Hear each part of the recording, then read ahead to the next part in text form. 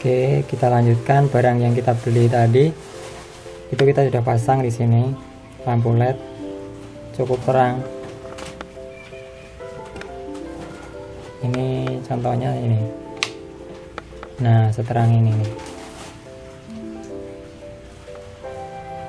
Cukup terang bukan untuk kira-kira menjahit. Tuh.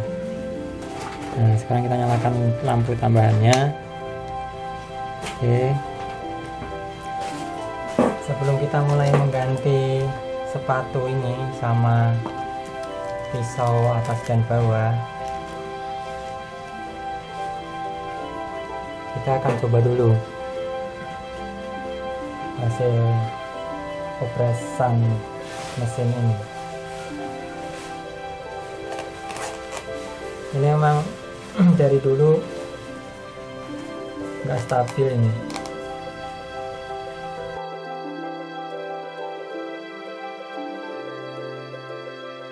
Nah ini hasilnya.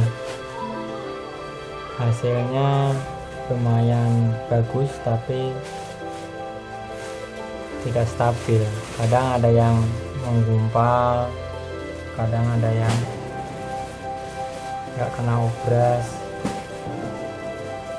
Tapi kita akan coba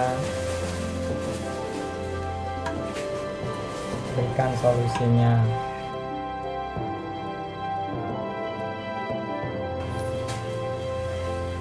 Ini lihat. Kita coba langsung sekali obras tidak berhenti panjang. Memang kadang kelihatan nggak stabil. Sekarang kita fokus ke penggantian sepatu ini karena ini tidak ada lidahnya nih. Makanya kita ganti yang ada lidahnya ini seperti ini. Ini lidahnya. Kalau ini yang dipasang tidak ada lidahnya. Tapi bisa menghasilkan obras. Makanya kita akan ganti.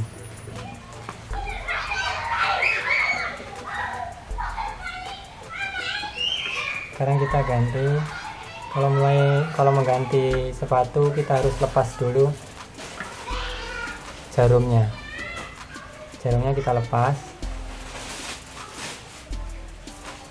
baru nanti kita lepas bisa lepas sepatunya.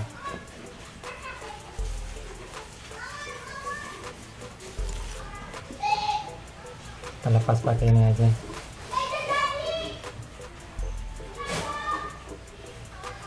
Maaf, salah muter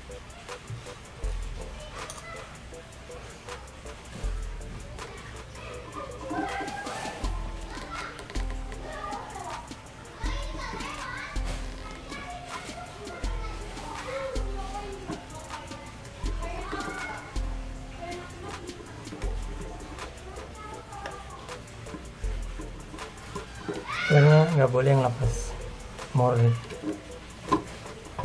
dengan tang ini. Akan rusak murnya sebaiknya anda menggunakan kunci pas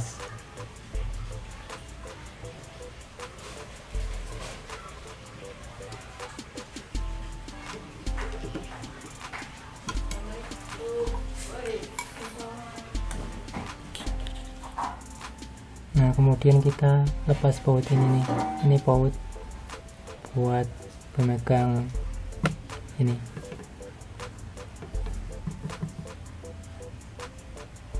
Buat pemegang sepatu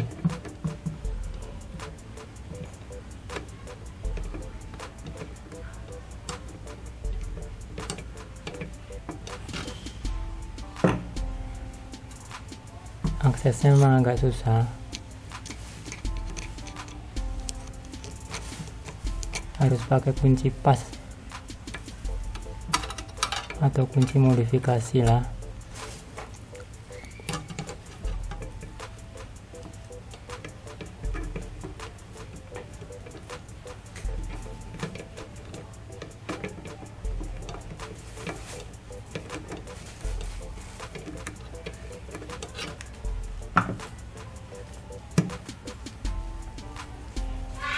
kita angkat dulu.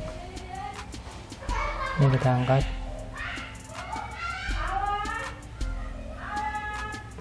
Udah kendor. Lihat. Nah. Nggak perlu kita lepas bautnya. Cuma dikendorin aja. Terus kita tarik dari samping. Dan ini hasilnya. Oke sekarang kita lihat. Kita bandingkan. Nih ini kondisinya udah ini. Udah karatan kita coba ganti dengan ini. Ini bandingkan. Ini yang jempol saya ini lidahnya kalau yang sini nggak ada. Karena dulu mungkin dilepas atau satunya ada lidahnya satunya nggak ada. Sekarang kita pasang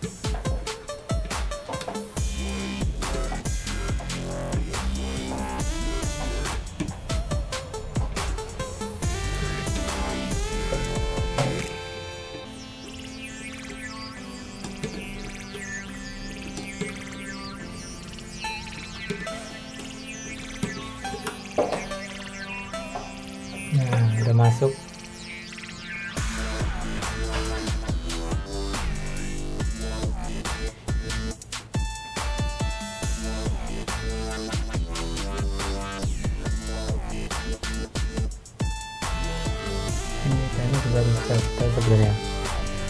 Lidahnya ini bisa besar kiri apa kanan mengikuti lidah bagian bawah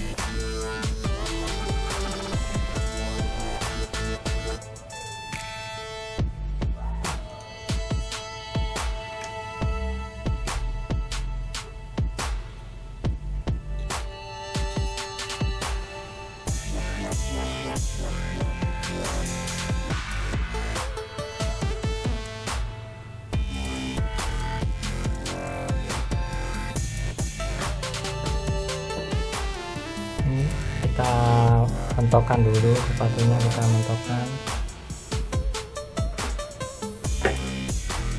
pasangnya kita kencangkan aja bautnya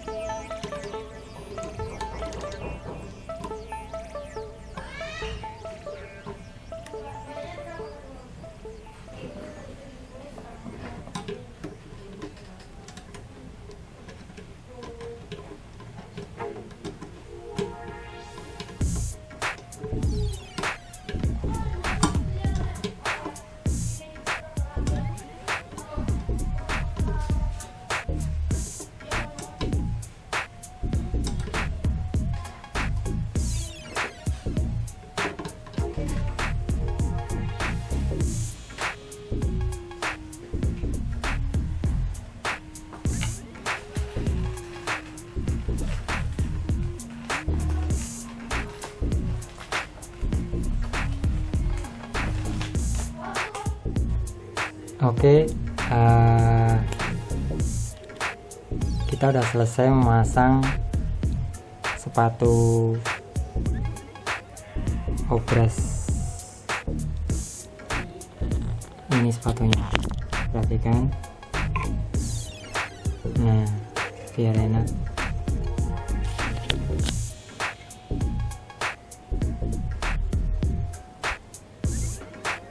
Jadi perhatikan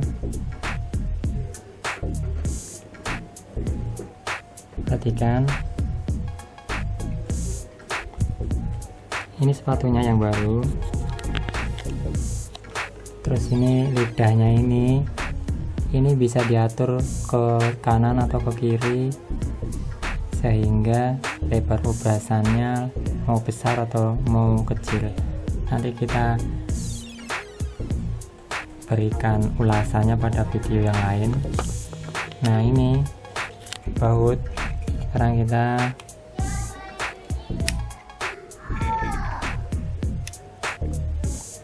kita perhatikan. Ini ini adalah baut. Baut pengunci sepatu. Oke.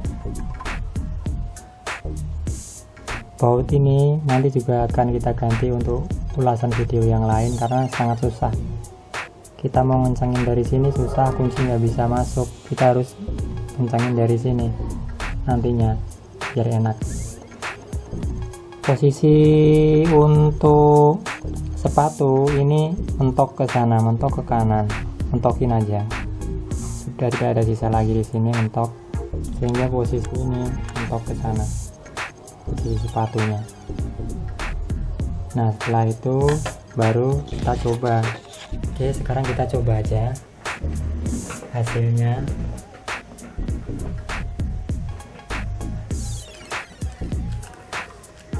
Ini jadi yang baru cuman sepatunya berikut lidahnya yang baru. Kalau pisau belum kita ganti. Ini pisaunya masih belum kita ganti. Nanti ulasannya berikutnya pada video yang lain. Yang penting ini bisa jadi dulu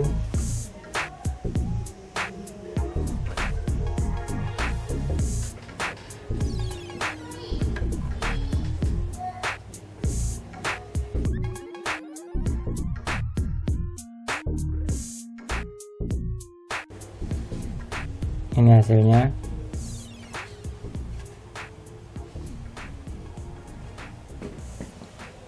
Hasilnya lumayan bagus.